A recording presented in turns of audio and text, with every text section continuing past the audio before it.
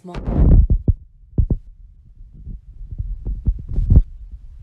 Barely had time to savor his success in helping to win control of the Peter and Paul fortress when the first disjointed reports of Kerensky's call for loyal troops from outside the capital and rumors of the government's crackdown on the extreme left began to trickle into Smolny. Soon, military revolutionary committee contacts in the suburbs began phoning in word of alarming activity among troop units in their localities and workers from the Trud printing press arrived with news of the raid on Rabochi Put.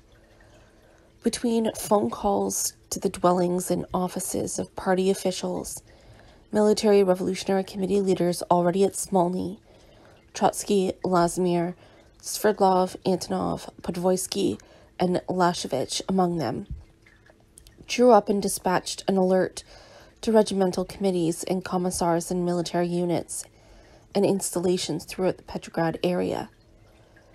Titled Directive Number One, this order read The Petrograd Soviet is in direct danger. Counter revolutionary conspirators have attempted to bring cadets and shock battalions from the suburbs to Petrograd during the night.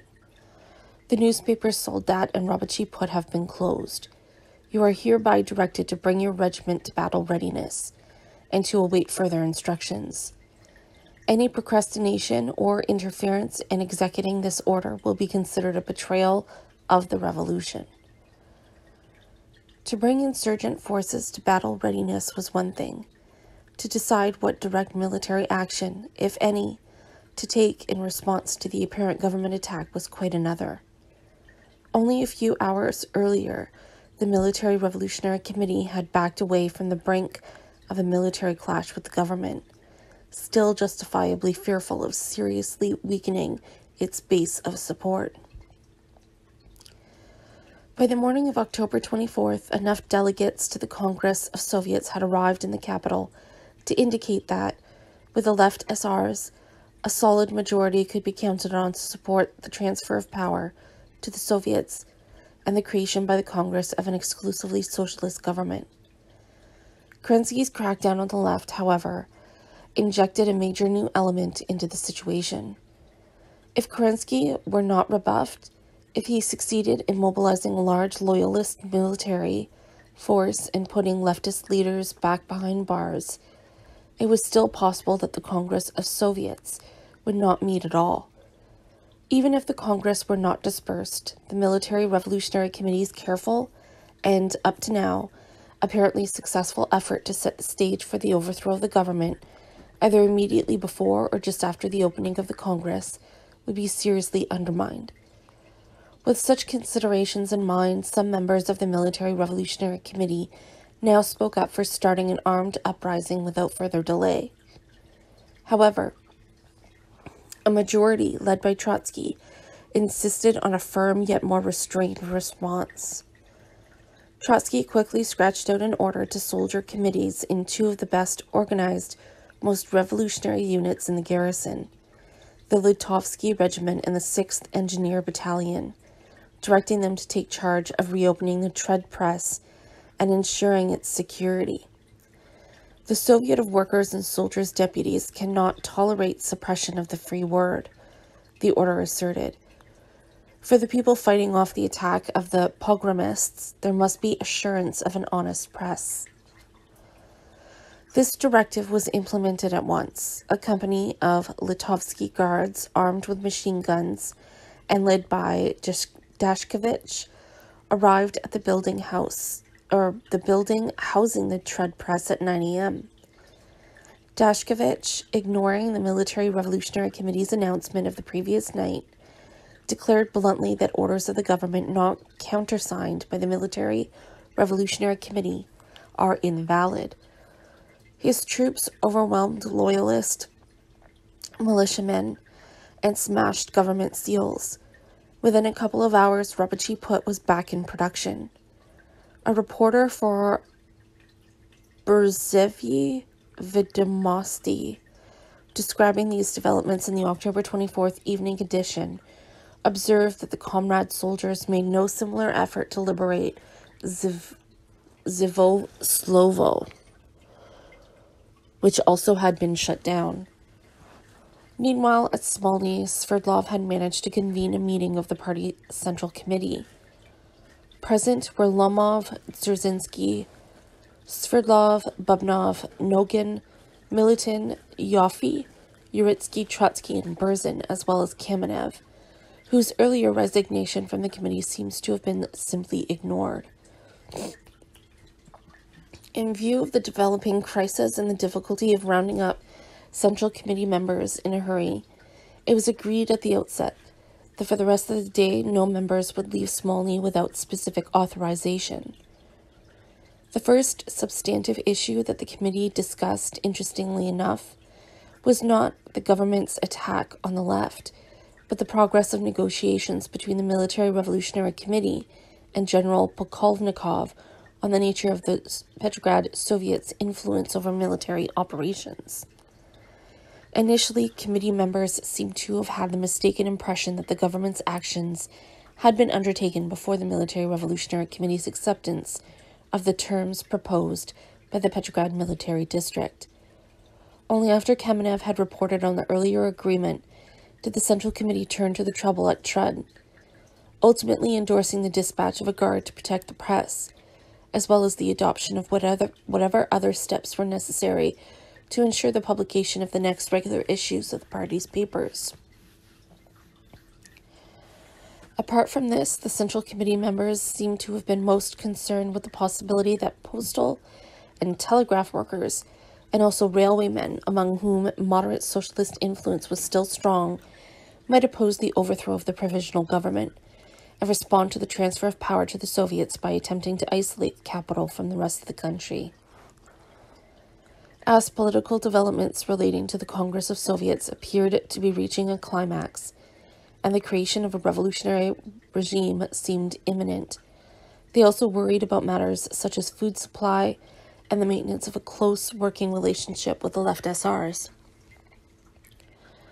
Thus, Bubnov was made responsible for establishing contact with rail workers, and Dzerzhinsky was with postal and telegraph employees. At the same time, Milutin was charged with organizing food supplies, and Kamenev and Berzin were designated to conduct negotiations with the left SRs. At Trotsky's insistence, the Central Committee, before adjourning, agreed on one further precaution.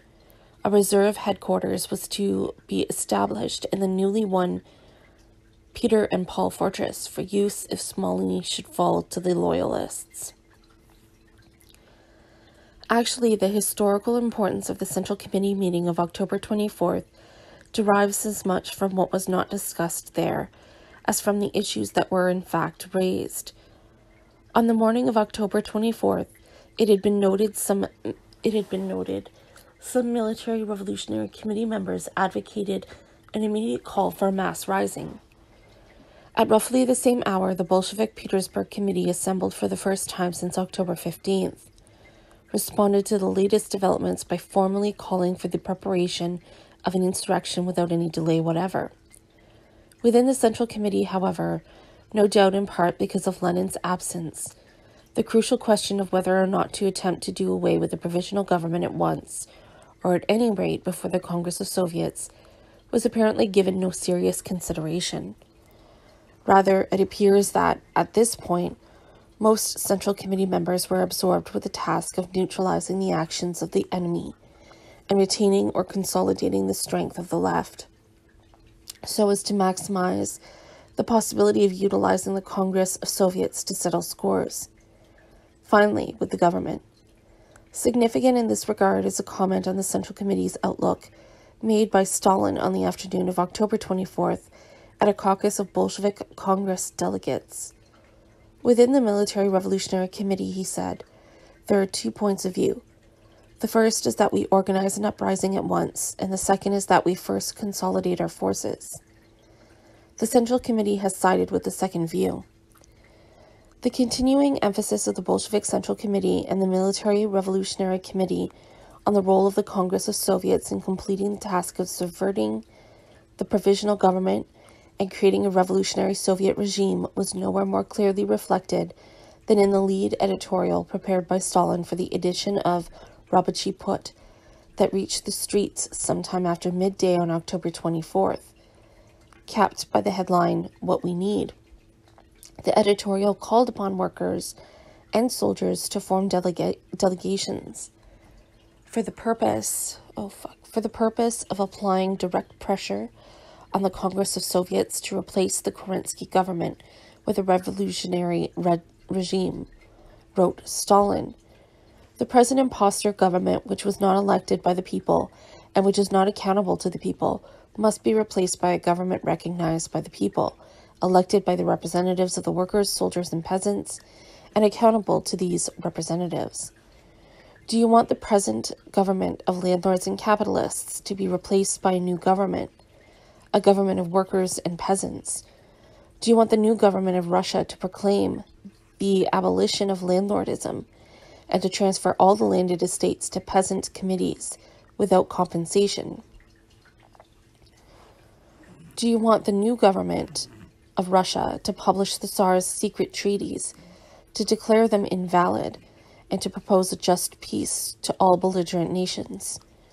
Do you want the new government of Russia to put a thorough curb on organizers of lockouts and profiteers who are deliberately fomenting famine and unemployment, economic disruption, and high prices? If you want this, muster all your forces, rise as one man, organize meetings and elect your delegations, and through them, lay your demands before the Congress of Soviets, which opens tomorrow at Smolny. The tactical caution displayed by the National Bolshevik leadership was also reflected on October 24th in the Kronstadt Bolshevik paper, Prolet- Proletarskoe Delo, and in the new Bolshevik controlled evening newspaper of the Petrograd Soviet, Rabochi i Soldat. Dominating the front page of Rabochi i Soldat on the evening of October 24th was the banner headline, The All Russian Congress will begin on October 25th. This was followed by a full, full page proclamation from the Military Revolutionary Committee to the, pop- to the population of Petrograd. Citizens, the counter revolution has raised its treacherous head. The Kornilovites mo- are mobilizing their forces to suppress the All Russian Congress of Soviets and to break up the Constituent Assembly. At the same time, pogromists may try to instigate disorders and massacres on the streets of Petrograd. The Petrograd Soviet of Workers and Soldiers Deputies takes upon itself responsibility for the protection of revolutionary order from the counter revolution and pogromist attacks. The garrison of Petrograd will not permit any violence or disturbance. Citizens, we call upon you to maintain calm and self control. The cause of order and of the revolution is in firm hands. Signed, the Military Revolutionary Committee. This continuing orientation toward the Congress of Soviets was voiced in public pronouncements as well as in the press. In a speech to the afternoon caucus of the Bolshevik Congress fraction, at which Stalin had drawn attention to the Central Committee's tactical stance, Trotsky seemed anxious, above all, to dispel whatever fears the Bolshevik leaders, assembled from all over Russia, might have that the revolution was in imminent danger, or that the actions of Military Revolutionary Committee in any way usurped the functions of the Congress. He declared, The government is powerless. We are not afraid of it because we have sufficient strength. Some of the comrades, for example, Kamenev and Ryazanov, do not agree with our assessment of the situation. However, we are leaning neither to the right nor to the left. Our tactical line has been determined by developing circumstances. We grow stronger every day. Our task is to defend ourselves and gradually to expand our sphere of authority so as to build a solid foundation for tomorrow's Congress of Soviets. The views of the entire country will be revealed tomorrow and Petrograd will not be alone in responding to its summons. According to a letter written the following day by Mikhail Zhakov, a participant in this caucus, Trotsky, toward the end of his address, took pains to insist that the arrest of the provisional government was not planned as an independent task. If the Congress creates a government and Kerensky does not obey it, this would be a police and not a political problem.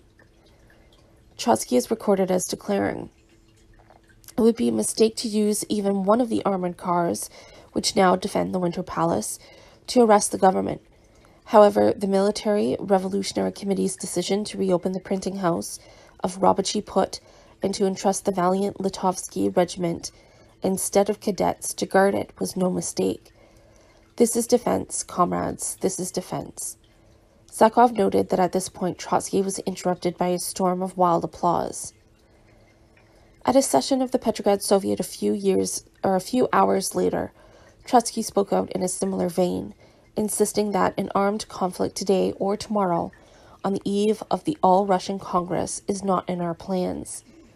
We are confident that the Congress will fulfill our slogan with great force and authority, he continued. But if the government wants to make use of the 24, 48, or 72 hours, which it still has and comes out against us, then we will respond with a counterattack, matching blow for blow, steel for iron. Moreover, at close to this same hour, upon the insistence of the left SRs, the Military Revolutionary Committee issued a press release in which it categorically denied that an uprising was in preparation. Contrary to all kinds of rumors and reports, the Military Revolutionary Co- uh, Committee declares that it exists not to prepare and carry out the seizure of power, but exclusively for defense of the interests of the Petrograd garrison and the democracy from counter revolutionary encroachments. While the Bolsheviks were working to consolidate support for their program in the Congress of Soviets and making preparations for the creation of a revolutionary government by the Congress, Kerensky was feverishly attempting to implement his plans to curb the left and, equally important, to strengthen his defenses. He spent much of the morning of October 24th in the General Staff building trying to speed up the dispatch to the capital of loyal troops from the front. Orders were now issued for the immediate removal of all Military Revolutionary Committee commissars, and all troops of the garrison were strictly forbidden to leave their barracks without the, without the specific authorization of Petrograd Military District, District headquarters. During the morning and early afternoon, it became evident that the vast majority of troops were responding to directives from the extreme left, not to those from the regular military command. The alacrity with which soldiers from the Litovsky regiment fulfilled Trotsky's order to assist in reopening the Trud printing press has already been mentioned. The behavior of the more than 500 man crew of the cruiser Aurora, which was just completing a year of capital repairs at the Franco Russian shipyard was also typical.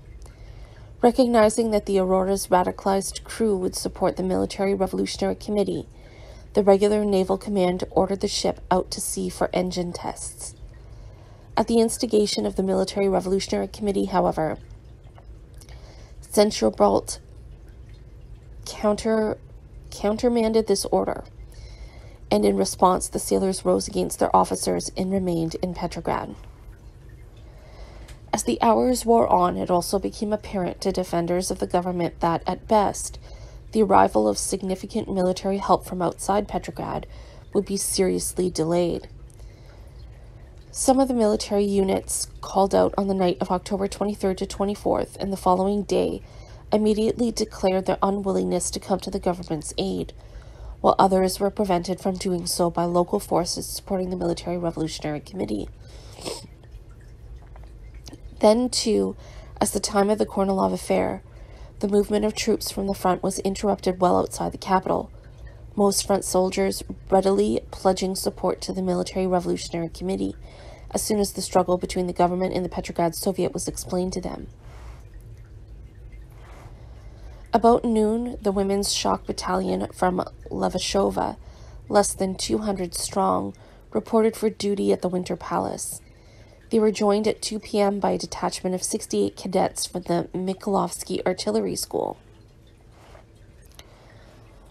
Also, either already at the palace or reporting there during the day and night of October 24th were 134 officers and roughly 2,000 cadets from officer training schools in Peterhof, Oranienbaum, and Gatchina.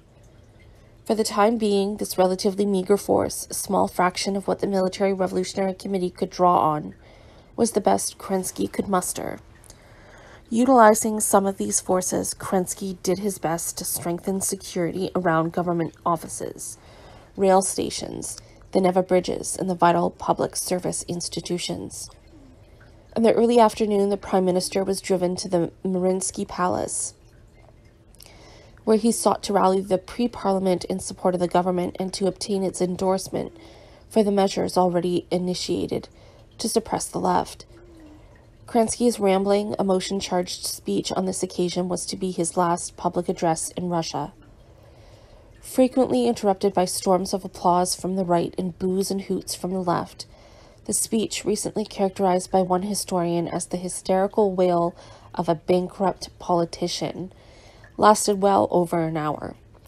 Kerensky began by accusing both the extreme right and the radical left of working to subvert the convocation of a constituent assembly and the creation of a free democratic system of government. The brunt of his criticism was reserved for the Bolsheviks. To buttress his condemnation of the party, Kerensky quoted extensively from the arguments for an immediate insurrection contained in Lenin's letter to comrades, serial, serialized in Rabochi Put between October 19th and 21st. He also catalogued what he termed repeated Bolshevik appeals for for an armed uprising, voiced at public meetings and in the party's press. Kerensky went on to contend that by organizing an uprising, the Bolsheviks were assisting not the German proletariat, but the German ruling classes. They are opening Russia's front to the mailed fist of Wilhelm and his friends. In full awareness of my responsibility, I, procl- I proclaim um, from this platform that such actions by a Russian political party constitute treason and a betrayal of the Russian state. A certain portion of the Petersburg population is in a state of insurrection. Arrests have been ordered. At the present time, when the state is imperiled by deliberate or unwitting betrayal and is at the brink of ruin, the provisional government, myself included, prefers to be killed and destroyed rather than to betray the life, honor, and the independence of the state. At this, members of the pre parliament, with the exception of the Menshevik internationalists and left SRs, rose from their seats and gave Kerensky a prolonged, resounding ovation, a circumstance which prompted a cadet, Mo- Moisey Adzhemov, to rush to the left benches, screaming, Let's have a photograph of the people sitting down. After order was restored with some difficulty, Kerensky continued his speech, reading from the Military Revolutionary Committee's Directive Number 1, which was then circulating throughout the city. He bellowed. This is an attempt to incite the rabble against the existing order. It is an attempt to block the Constituent Assembly and to expose the front to the serried ranks of Wilhelm's concentrated forces. Turning to the left, he insisted that at the present time everyone must decide whether he is on the side of the Republic, freedom, and democracy, or against these. In conclusion, he roundly declared I've come to call upon you for vigilance, for the defense of the gains of freedom won by the many sacrifices, by the blood and the lives of many generations of free Russian people, all elements of Russian society. Those groups and those parties which have dared to raise a hand against the free will of the Russian people, threatening at the same time to expose the front to, to Germany, are subject to immediate, decisive, and total liquidation. I demand that this very day the provisional government receive your answer as to whether or not it can fulfill its duty with the assurance of support from this exalted gathering. Kerensky subsequently remembered that he left the Mariinsky Palace after his speech at around 2:30 p.m., convinced that within a couple of hours he would receive a strong pledge of support from the pre-parliament. This was not to be. Pre-parliament deputies spent the rest of the afternoon and early evening at October or of October 24th in acrimonious fractional meetings debating how best to respond to Kerensky's request for a vote of confidence. When the deputies reassembled at 7 p.m., the opposition of a significant portion of the pre parliament to granting Kerensky carte blanche for a wholesale crackdown on the left emerged sharply. The initial speaker after the extended break was Kamkov, chief spokesman of the left SRs. Four weeks later, in his speech to the first Left SR Congress, he would recall his anguish when Kerensky demanded full powers to suppress the Bolshevik uprising and was completely oblivious to the fact that there was nobody to put down the uprising, regardless of what sanctions he was granted. Kamkov explained then that to those of us working among the lower classes of Petrograd, it was clear that in the Peter Kerensky would not find a dozen people who had come out to defend him as head of the coalition government. In the pre parliament on the evening of October 24th, Kamkov declared After the head of the government comes here and announces that some kind of rabble is rising and demands that this assembly aid him in dealing with it, overwhelming numbers of you may decide to grant the sanction but I am uncertain that the Russian people, the revolutionary army, the proletariat, and the laboring peasantry will do the same. Let's not play hide and seek with each other. Is there anybody at all who would trust who would trust this government? It does not have the support of the revolutionary army or the proletariat, and coming out against it is not the rabble, but precisely the most politically conscious elements of the revolutionary democracy. If we are serious, seriously interested in eliminating the soil in which the horrors of civil war are maturing, we must openly declare that the only way out of the present predicament is through the creation of a homogeneous, revolutionary, democratic government in which there will be no elements who organize demonstrations of homage to Kornilov. Martov, who took the floor next on behalf of the Menshevik internationalists, was similarly critical of the existing government. As he appeared on the rostrum, someone on the right cried out, Here is the Minister of Foreign Affairs in the future cabinet, to which Martov, peering in the direction of his critic, at once retorted, I'm nearsighted and cannot tell if this is said by the Minister of Foreign Affairs in Kornilov's cabinet.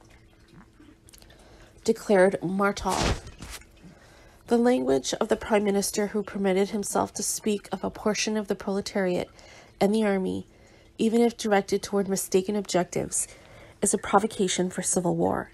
But I have not lost the hope that we will not yield to the desires of those who seek to use the current situation to bring the revolution to a halt. The democracy must declare that it will not give the government any support if it does not immediately guarantee that it will fulfill the most urgent needs of the people. Repression cannot be substituted for satisfaction of the needs of the revolution an announcement must be made immediately that Russia is pursuing a policy of immediate peace, that land committees will have control over alienated lands awaiting settlement, and that the democratization of the army will not be stopped. And if such declarations are impossible for the government in its present form, then the government must be reorganized. There was nothing unexpected about these declarations by Kamkov and Martov what was genuinely starting, st- fuck, startling was the response to Kerensky's demands by representatives of the main body of Mensheviks and SRs. People like Dan and Gotz, who had openly wavered in their support for coalition for the first time in the wake of the Kornilov affair. At the pre parliament session on the evening of October 24th, their point of view was, vo- was voiced by Dan. From the outset, Dan expressed total opposition and aversion to the behavior of the Bolsheviks. Yet, with equal emphasis, he insisted that if the conflict between the government and the left were not settled peacefully, the ultimate winners would be the extreme right. Moreover, he declared that the only way a disastrous bloodbath could be avoided was by responding without further delay to the aspirations of the masses who now followed the Bolsheviks. As Dan put it,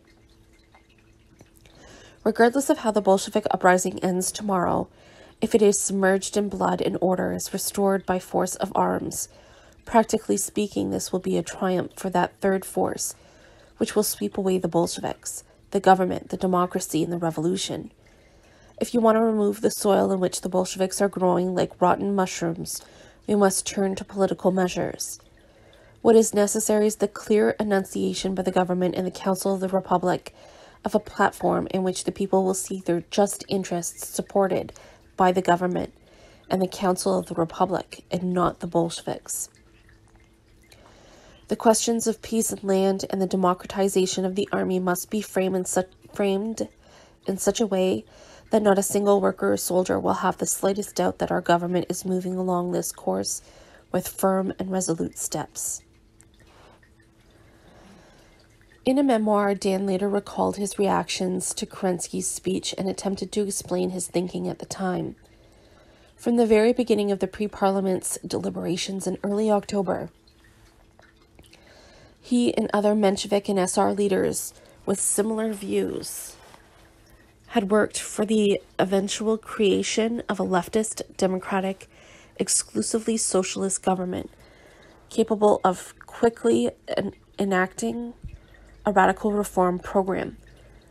They had done this, Dan contended, in the belief that only through immediate drastic political steps was there any hope of successfully combating the Bolsheviks. Dan maintained that in his wing of the pre parliament, it was axiomatic that to fight the Bolsheviks with strictly military means was useless, if only because the government did not possess such means. Dan indicated that this view was rejected by the pre parliament right, who erroneously believed that the military force at the government's disposal was sufficient to crush the Bolsheviks, and who consequently looked forward to engaging them in open battle. After Kerensky's speech to the pre parliament on the afternoon of October 24th, Dan and his colleagues considered it their duty to indicate to the government the only course they believed held out any hope of salvation, and to re emphasize that they were prepared to join the government in that course to the very end. Toward the close of the pre parliament session on October 24th, three resolutions were introduced one on behalf of cooperative organizations and the Cadet Party pledged full su- full support full support to the government in the adoption of decisive steps to suppress the revolt in the capital. The second, a much more inflammatory resolution put forward by the command of the Cossacks, bitterly criticized the entire left directly repudiated the provisional government for its weakness and even for conniving with the Bolsheviks, and demanded that the government guarantee that on this occasion it would in no way indulge the Bolsheviks. The third resolution, drawn up by the pre parliament left and presented by Dan, explicitly criticized the provisional government for delays in the promulgation of urgent political and social reform. And made the pre parliament's support dependent upon the immediate promulgation of a radical land and peace program. And the creation of a committee of public safety made up of representatives of municipal governments and the Soviets to work with the provisional government in restoring order. At 8:30 p.m. by the narrow margin of 123 votes to 102 with 26 abstentions, the resolution of the left, in effect a vote of no confidence in Kerensky, was adopted. Dan indicated in his memoir that, upon the passage of this resolution, he and Gotz, dragging along the much more conservative president of the pre parliament, Av- Avksentiev, hastened to a meeting of the cabinet in the Winter Palace to demand that the government adopt the pre parliament's recommendations. According to Dan, he and Gotz fervently oppo- or hoped that the government would acquiesce and that a momentous proclamation would be printed and plastered throughout the capital that very evening, announcing to the citizenry that the provisional government had had formally proposed the immediate cessation of all military activity and the start of negotiations for universal peace. That land committees had been informed by phone that all manorial land holdings would be transferred to them, and that the convocation of the Constituent Assembly would be speeded up. Dan and Gotz apparently insisted to Kerensky that such action would bring about a shift in the mood of the masses and strengthen the hand of Bolshevik leaders opposed to an uprising. Not surprisingly, however, word of the pre parliament's action drove the prime minister into a blind rage. Kerensky appeared then, Dan later wrote, like a person approaching the last stages of exhaustion. At first, he declared his intention of resigning the next morning. In the end, he simply dismissed Dan Gotz and Avksentiev with the assertion that the government had no need for admonitions and instructions and would cope with the rebellion by itself.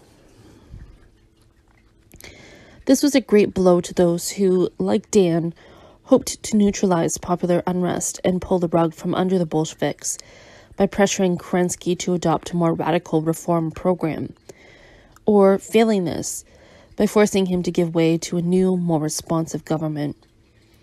Still, efforts to achieve this goal were not halted. At an emergency joint meeting of the All Russian Executive Committees, which began just after midnight and lasted until 4 a.m., October 25th, centrist and left Mensheviks secured passage of a resolution which, while condemning the Bolsheviks and endorsing the creation of a Committee of Public Safety, nonetheless reaffirmed the categorical demands for immediate reform adopted earlier by the pre parliament. Moreover, in a series of heated party strategy caucuses, the left SRs and Menshevik internationalists now campaigned vigorously for the creation by the Congress of Soviets of an exclusively socialist coalition government. This campaign initially appeared to be bearing fruit. A meeting of the Menshevik Congress fraction, which included both defensists and internationalists, adopted a set of theses for incorporation in a political resolution to be presented to the Congress, which constituted an even more significant departure from previous moderate socialist policies than did the resolution of the pre parliament. These theses called for the complete reconstruction of the cabinet and specifically stipulated that the new government be homogeneous and democratic. While condemning the actions of the Bolsheviks, they called at the same time for the repudiation of the provisional government's policies, which were viewed as having provoked the Bolshevik insurrection. The theses also included a recommendation that attempts by the government to suppress the Bolshevik insurrection by armed force be given a firm rebuff. Meanwhile, the left SRs turned out to have a comfortable majority at a caucus of the SR Congress fraction on the morning of October 25th. A resolution offered there by the SR Central Committee was defeated by a vote of 92 to 60, after which the majority agreed to get in touch with the Menshevik internationalists, evidently to coordinate efforts for the creation of a homogeneous socialist government. Equally significant in the wake of this victory, some left SR leaders retained hope that at the Congress the entire fraction might stick together behind the program of the left. To anyone analyzing political developments in Petrograd during the afternoon and early evening of October 24th, the confidence voiced by Kerensky in his ability to deal independently with the left at this time seems utterly incomprehensible. The sketchy, sometimes confused eyewitness reports that filled the latest news columns of Petrograd's newspapers on October 25th to 26th testified to the degree to which the government's position had deteriorated. Not long after Kerensky's unfortunate appearance before the pre parliament, the anxiety of military officials at General Staff headquarters was heightened by reports of alarming numbers of armed workers and soldiers congregating around Smolny. Consequently, they now issued order for the Liteiny, Troitsky, and Nikolaevsky bridges across the new or across the Neva to be drawn, and for strict government control of the only other Neva span, the Palace Bridge. This to interdict the flow of insurgents from working class districts on the Neva's right bank to the center sections of the city. Describing his reaction upon learning of the government's intentions in regard to the Neva bridges on October 24th, the Bolshevik military organization leader Ilin Zenev fuck Ilin Zhenevsky subsequently wrote, Involuntarily, I remembered the July days. The drawing of the bridges appeared to me as the first step in another attempt to destroy us. Was it possible the provisional government would triumph over us again, or once again? On this occasion, there was no such danger. As soon as loyalist cadets from the Mikhailovsky Artillery School arrived at the Liteiny Bridge, they were challenged by an irate, an irate crowd of citizens, many of them carrying weapons. Forced to give up the, their arms, the cadets were escorted humiliatingly back to their academy.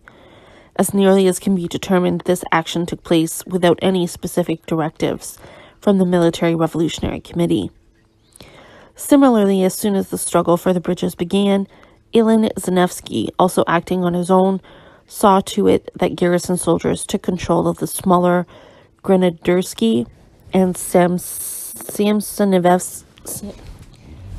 Sampsonievsky bridges across the Bolshaya Nevka between the Vyborg district and the Petrograd side.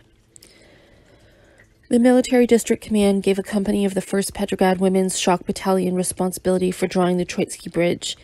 Orders issued to the battalion specifically authorized the use of firearms to prevent movement on the bridge. It appears that the women soldiers did not try seriously to execute this order, quite, li- quite likely because machine guns mounted along the walls of the Peter and Paul Fortress were well within shooting range. After a brief stu- struggle between cadets and Red Guards, the former were successful in drawing the Nikolaevsky Bridge connecting Vasilevsky Island with the center of the capital. For some time yet, the Palace Bridge remained firmly controlled by cadets and personnel of the Women's Battalion. Still, by early evening, it was apparent that the crucial battle for the bridges had been won by forces hostile to the government. Two of the four main Neva bridges were in their hands, as well as all the bridges over the Bolshaya Nevka and Malaya Neva. At 4 p.m., the cyclists who had had primary responsibility for security around the Winter Palace from the time of their transfer to the capital following the July days suddenly announced that they would no longer remain at their posts. An hour later, upon orders from the Military Revolutionary Committee, one of its commissars, Stanislav Pestkovsky, took control of the Central Telegraph Office this first success in the contest for key communications facilities was obtained without a shot fired. This despite the fact that among the telegraph office's 3,000 employees there were not a single Bolshevik. The important factor here was a detachment of soldiers from the Keksgolmsky Regiment, which had long since pledged loyalty to the Military Revolutionary Committee and with the support of their commander, Pestkovsky pressured the head of the Postal Telegraph Workers Union, a right SR, to recognize his authority. A detachment of cadets tried unsuccessfully to recapture the Central Telegraph Office around 8 p.m. Not long afterward, another military revolutionary committee commissar, the Helsingfors Bolshevik Leonid Stark, accompanied only by 12 armed sailors, occupied and assumed supervision of the Petrograd Telegraph Agency, a newswire service. One of Stark's first acts was to stop the political resolution just then passed by the pre parliament from going out over the wire. At about the same time, troops of the Izmailovsky Guards Regiment, the first major garrison unit to come to the government's aid in July, took control of the Baltic Station, rail terminus for loyalist reinforcements arriving from the seaboard along the Gulf of Finland and points west. The Petrograd Military District headquarters could muster by way of a response was a telegraphed warning that echelons loyal to the government and the Central Executive Committee are in transit from the front. Some of the ultimately most important steps taken by the left at this time were accomplished in secret and hence, for the time being, were not publicly evident. In the early evening of October 24th, Dybenko and Helsingfors finally re- received the telegram agreed upon with Antonov during the Northern Congress of Soviets. Send the regulations, meaning dispatch sailors, sailors and ships to Petrograd. Antonov also passed a handwritten request to a liaison man from the Kronstadt Soviet, the Bolshevik Alexei Pronin, for the dispatch of Kronstadt sailors to the capital the next day. Several hours later, on behalf of the Military Revolutionary Committee, Alexei, Baranov called Dybenko from Petrograd to confirm the dispatch of naval forces. The atmosphere, the atmosphere is tense, Baranov reported. Can we count on your support? The cruisers will sail at dawn, responded Dybenko. Except for the individual garrison units and Red Guard con- contingents ordered by the Military Revolutionary Committee to carry out specific military tasks, most of the Petrograd area's well over half a million workers, soldiers, and sailors remained in their factories and barracks during these initial skirmishes with government forces. Throughout the afternoon and evening of October 24th, and so into the following day, a round of meetings was held in working class districts of the capital and at the main bases of the Baltic Fleet. Almost invariably, these gatherings produced expression of support for the Petrograd Soviet and its program. For the first time, there were almost no popular disturbances. Mass demonstrations like those of February and July, which it was commonly assumed would signal a, a final clash between the left and the government, were completely absent. Toward mid-afternoon, when word of the drawing of the Neva bridges began or became known, students at primary and secondary schools and employees in government offices were dismissed for the day. Banks and stores in the central sections of the city were closed, and streetcar services was curtailed. Still, the streets remained calm. In the evening, fashionably dressed crowds promenaded on Nevsky Prospect, where the usual prostitutes continued to ply their trade. Restaurants, casinos, moving picture houses, and theaters operated normally, although with decreased attendance a revival by Mayor, Meyerhold of Alexei Tolstoy's The Death of Ivan the Terrible at the Alexandrinsky Theater, and a performance of Boris Godunov at the Mariinsky Theater went on as scheduled.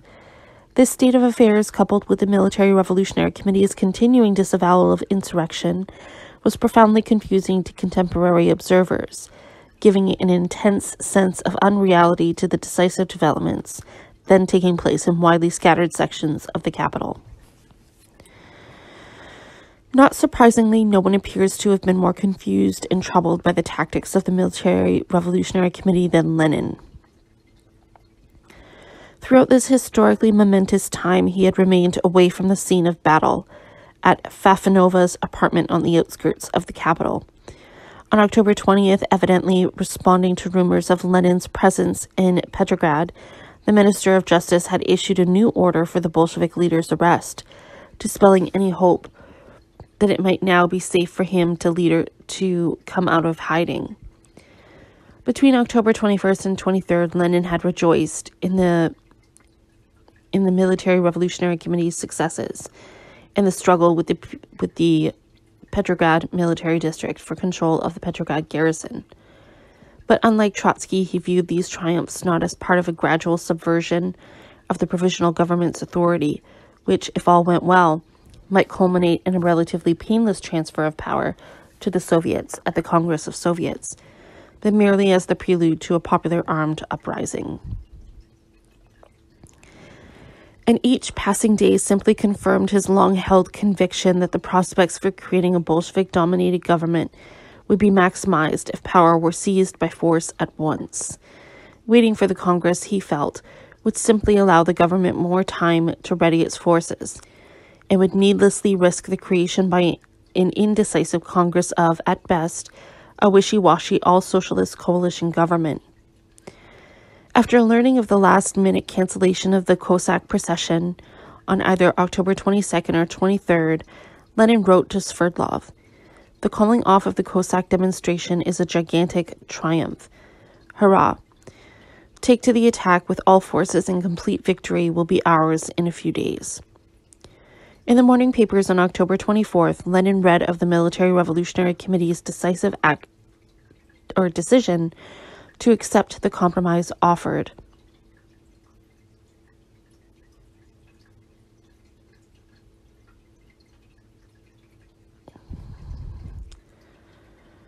Throughout the day, no doubt mostly through Fofanova, he had maintained contact with Smolny. Smolny. Thus, he had learned almost at once of the government's crackdown on the left and of the efforts by some moderate socialists to force the government to adopt and immediately announce a more radical reform program. News of these developments greatly upset him. Fofanova recalled that he sent her out several times during the day and evening with requests to the Central Committee for permission to go to Smolny.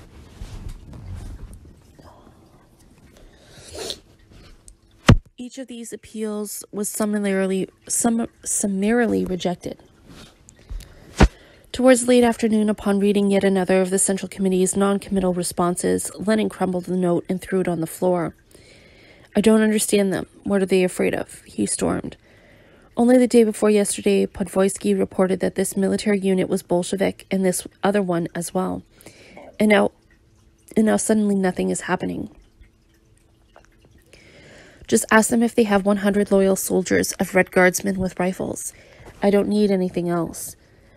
Around 6 p.m., Lenin resolved once again to circumvent the Central Committee and to call on lower levels of the party, particularly the Petersburg Committee and the district Bolshevik committees, to take the completion of the revolution into their own hands. Quickly drafting the following appeal, he commissioned Fofanova to deliver it to Krupskaya and no one else. Comrades, I am writing these lines on the evening of the 24th. The situation is critical in the extreme. In fact, it is now absolutely clear that to, that to delay the uprising would be fatal. With all my might, I urge comrades to realize that everything now hangs by a thread, that we are confronted by problems which are not to be solved by conferences or congresses, even congresses of Soviets, but exclusively by peoples, by the masses, by the struggle of the armed people. The bourgeois onslaught of the Kornilovites and the removal of Verkhovsky show that we must not wait. We must at all costs, this very evening, this very night, arrest the government, having first disarmed the officer cadets, defeating them if they resist, and so on. We must not wait, we may lose everything. We must take po- or who must take power? That is not important at present. Let the Military Revolutionary Committee do it, some other or some other institution. All districts, all regiments, all forces must be mobilized at once and must immediately send delegations to the Military Revolutionary Committee and to the Bolshevik Central Committee with the insistent demand that under no circumstance should power be left in the hands of Kerensky and company until the 25th. Not under any circumstances. The matter must be decided without fail this very evening or this very night. History will not forgive revolutionaries for procrastinating when they could be victorious today, and they certainly will be victorious today. While they risk losing much tomorrow, in fact, they risk losing everything. If we seize power today, we seize it not in opposition to the Soviets, but on their behalf. The seizure of power is the task of the uprising. Its political purpose will become clear after the seizure. It would be a disaster or a sheer formality to await the wavering voice of October 25th. The people have the right and are in duty bound to decide such questions not by a vote, but by force. In critical moments of revolution, the people have the right and are in duty bound to give directions to their representatives, even their best representatives, and not to wait for them. The government is tottering. It must be given the death blow at all costs. To delay action is fatal. A few hours after sending Fofanova out with this last appeal, Lenin was unable to restrain himself further. Leaving a note for his hostess on the kitchen table, I have gone where you did not want me to go. Lenin donned his wig and a battered cap and wrapped a bandage around his face. Then, violating a direct Central Committee ban on his movement for the second time in a month, accompanied by Eino Rakhia, he set off for Smolny. The two traveled through the Vyborg district as far as the Finland station in an almost empty streetcar, the frantic Lenin peppering the conductress with questions regarding late political developments. When Lenin discovered she was a leftist, he began filling her ears with practical advice on revolutionary action. As they approached Smolny on foot via Spalernaya Street, where the unlucky Voinov had come to his end on July 6th, the pair was forced to dodge a roving mounted cadet patrol, scaring Rakhia half out of his wits. Finally, sometime before midnight, they safely reached their destination.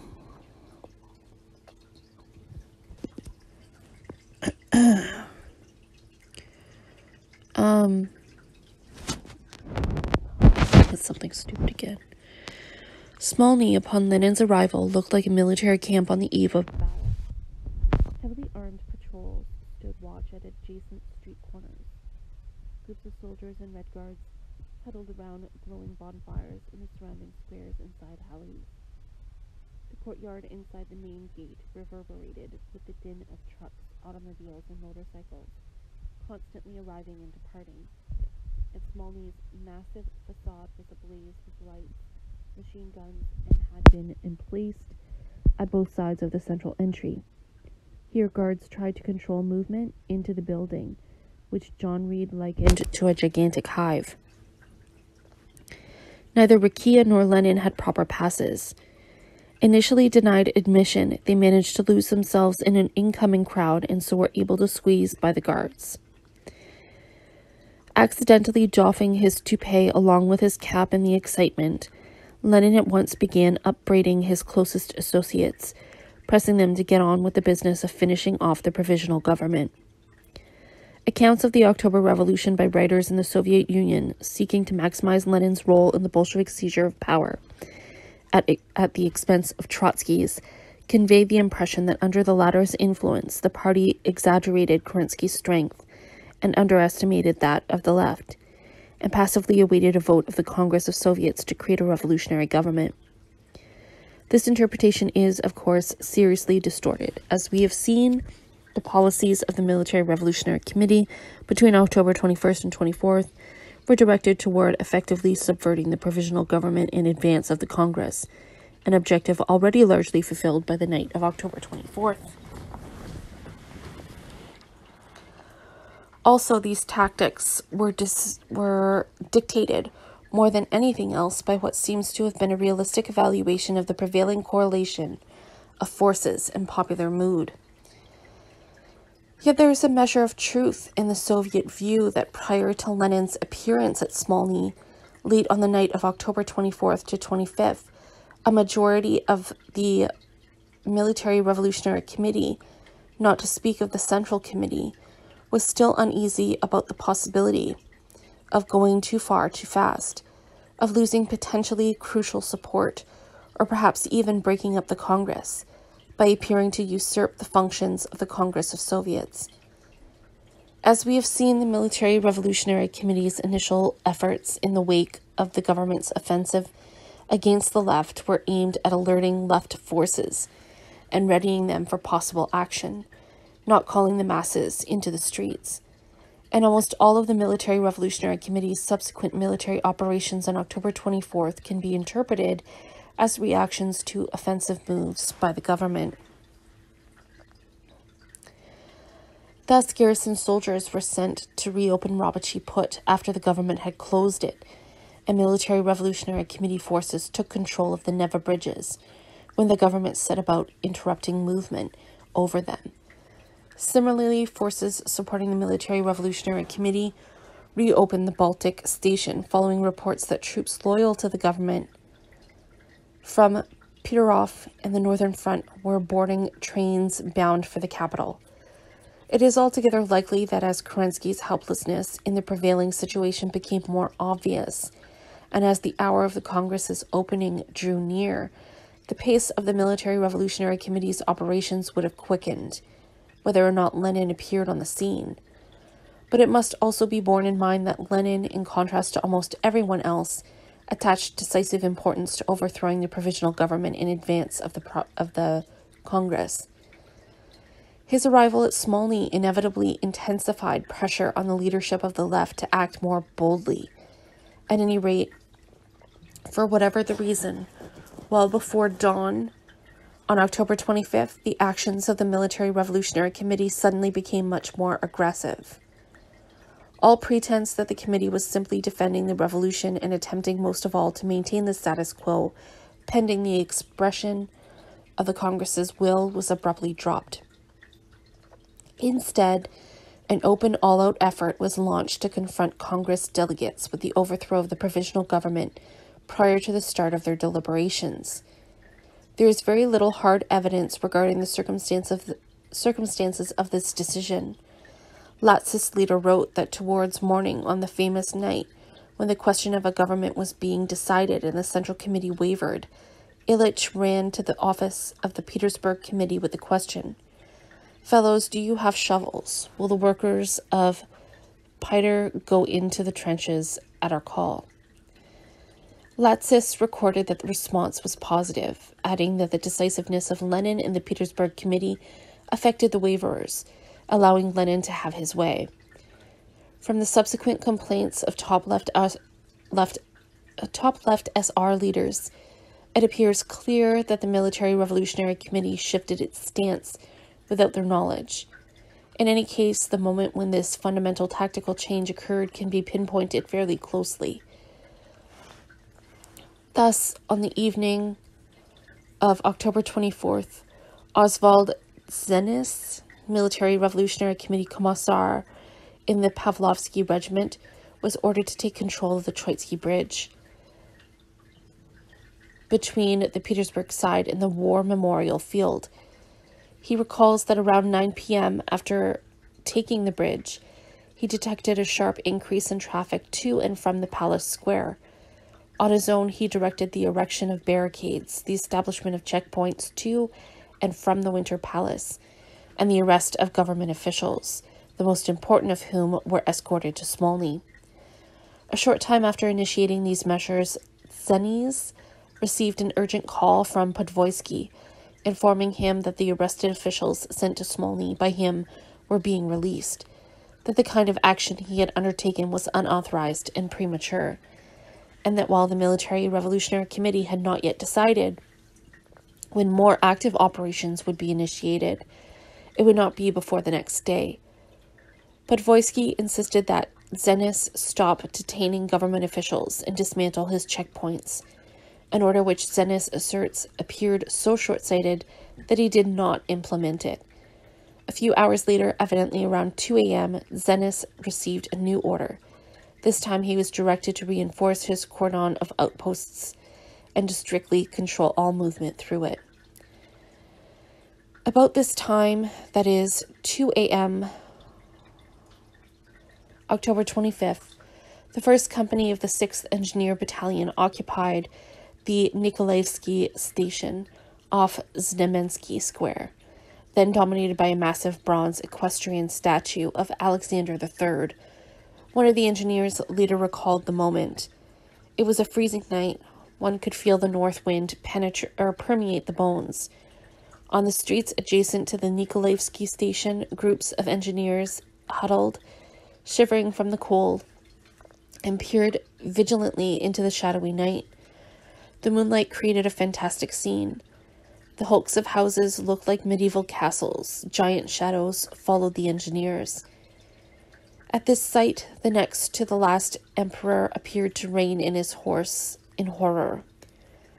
Also around 2 a.m., a military revolutionary committee commissar, Mikhail Firmin, to control of the Petrograd Electric Station.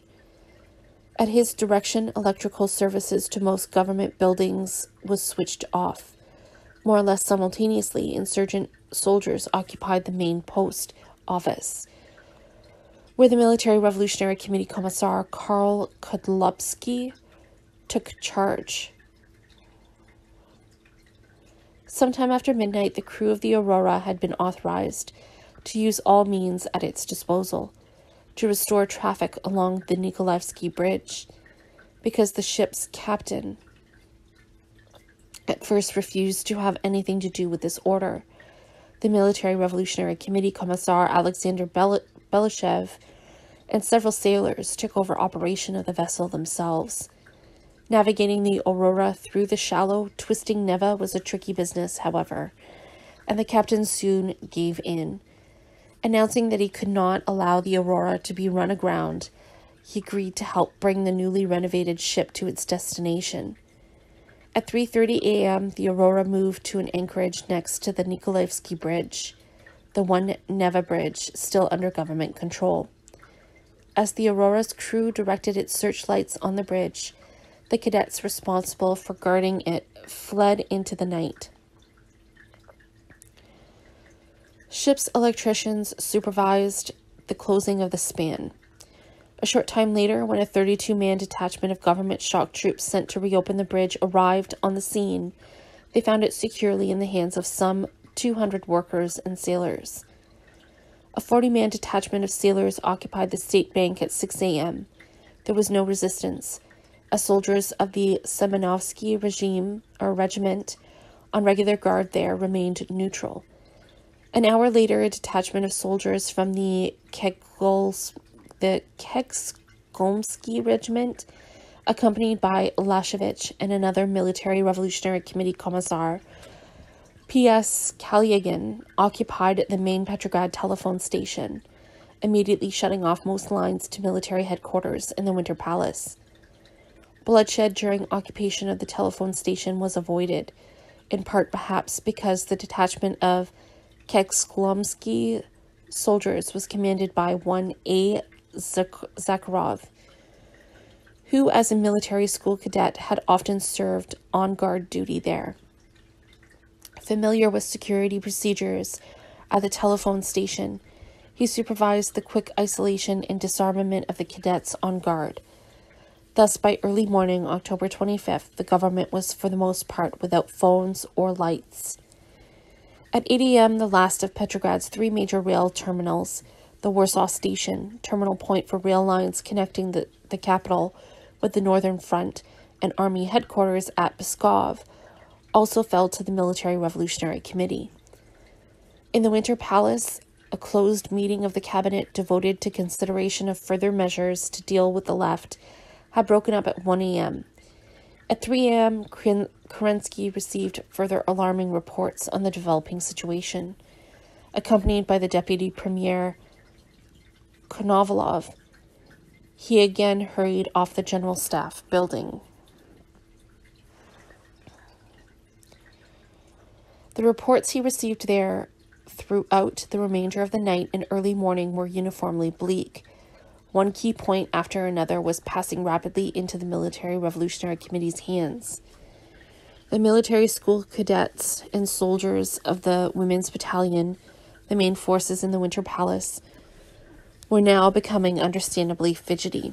Suddenly announcing their inability to fight soldiers of the garrison, they were temporarily calmed by what were, in retrospect, misleading assurances that troops from the front were expected momentarily. At Kerensky's command, towards dawn, a last desperate appeal was directed to Cossack forces in the capital. In the name of freedom, honor, and the glory of our native land, the commander in chief has ordered the 1st, 4th, and 14th Cossack regiments to act to aid the Soviet Central Executive Committee, the revolutionary democracy, and the provisional government, and to save the perishing Russian state. In reply, Cossack spokesman asked whether the infantry would also be coming out. Receiving an unsatisfactory response, representatives of all but a relatively small number of Cossacks let it be known they had no intention of acting alone and serving as live targets. The text of a candid report from General B.A. Levitsky in Petrograd to General Mikhail Diterikhs at the front about developments in Petrograd on October 24th captures the prevailing situation. Levitsky brought Diterikhs up to date on the struggle for control of the garrison between the Military Revolutionary Committee and the Petrograd Military District headquarters, and on the former's directive calling on garrison units not to obey the orders of the latter. Levitsky observed, This act yesterday forced the minister president to explain clearly and precisely to the Council of the Republic, the pre parliament, the situation which had developed and to indicate the actions to be taken by the provisional government. After this, units of the Petrograd garrison went over to the side of the Bolsheviks. The bridges, which had been drawn open, were once again closed. The entire city is covered by posts manned by garrison soldiers. But there has not been a mass coming out. The telephone station is in the garrison's hands. Those units in the Winter Palace are guarding it only in a strictly formal sense since they have already agreed not to actively come out. It is as if the provisional government were in the capital of an enemy country. By the morning, by the morning of October 25th, the government's desperate situation had finally become obvious, even to the hitherto obtusely confident commander of the Petrograd military district, General Polkovnik, Polkovnikov. He now drafted a report to Kerensky in which he evaluated the situation as critical and concluded that for practical purposes the government had no troops at its disposal. At this juncture, Kerensky's sole hope for survival appeared to rest with the successful mobilization of solid support from the army at the front. In view of this, at about 9 a.m., Kerensky left Konovalov in temporary charge of the cabinet and began to make arrangements for an immediate departure to Pskov. A few hours earlier, the Bolshevik Central Committee had met at Smolny. It appears that no protocol of this historically important assembly was ever recorded. At any rate, none has been published, and the existing bits and pieces of information about what took place there come from a few sketchy memoirs. The scene of the gathering was apparently the Central Committee's regular meeting place room 36 on the first floor. Lenin was there, and also, among others, Trotsky, Stalin, Smilga, Miliutin, Zinoviev, Kamenev, and Berzin. Rakhia tucked himself into a corner to wait for Lenin and to watch the proceedings. From time to time, someone knocked at the door with reports on the course of the struggle for power in the streets outside. Lenin expressed satisfaction at each advance, at the same time pressing impatiently for the seizure of the Winter Palace and the arrest of the provisional government. During a brief break in the deliberations, one of the Central Committee members suggested drawing up a list of the government to be submitted to the Congress the next day. And immediately there arose the question of what to call the new government and its members. One memoirist recalls that to everyone the term provisional government sounded outmoded, and that the term ministers for members of the government conveyed an unacceptable sense of bureaucratic mustiness. It was Trotsky who quickly came forth with the idea of calling the new ministers people's commissars, a suggestion which delighted all those present. Yes, that's very good, Lenin interjected. It smells of revolution, and we can call the government itself the Council of People's Commissars. Seizing pencil and paper, Miliutin prepared to accept suggestions for commissars. Still, the battle against the provisional government had not yet ended, and to some Central Committee members, drawing up a list of cabinet members seemed so premature that they treated it at first as a joke.